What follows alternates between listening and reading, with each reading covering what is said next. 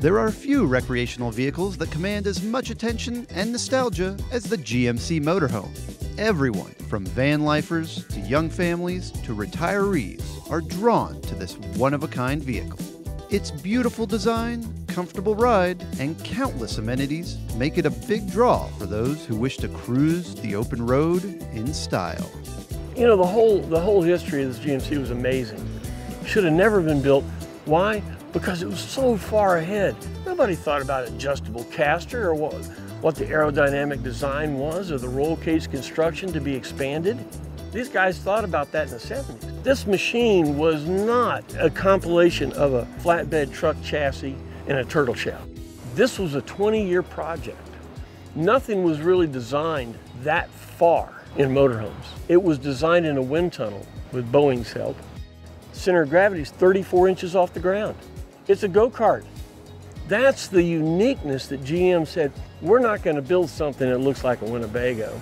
They look cool, they look better than anything else out there. That's why they're still around. That's why people are interested in them because it's a visual thing. And for Jim, it was love at first sight. Holy moly, look at this. This is amazing. What is this thing? I wasn't a motorhomer, but the day that I saw this thing, that was it. That was the punch. GMC was the only major automotive manufacturer to produce a complete motorhome from the ground up. They designed and built everything in house, and between 1973 and 78, they manufactured 13,800 of these beauties. It's believed that there are still 9,000 roadworthy coaches, but after 50 years, there's plenty of room for improvement. So in 1997, Jim founded the GMC Co op as a way to bring together professionals in order to facilitate a space for one stop restoration of these aerospace engineered machines. It needs to be updated so they can be brought back to the road. That's the future, you know, and that's what Jason's doing because he's going to set all the clocks back mechanically. They look cool. I mean, they look like something that would be made today. They don't look like a coach that was manufactured 50 years ago. I love taking something and making it better than what it could have originally been. Like, what is the absolute best we can do with them? A lot of times when a coach comes to us, it's not so much anything wrong with the body on them, but the frame, the suspension, you know, 50 years on rubber, you know, components in the suspension system, is just, they're not meant to last that long. So I want to take a full chassis, build it out, and have it ready for somebody to bring their motor home to me.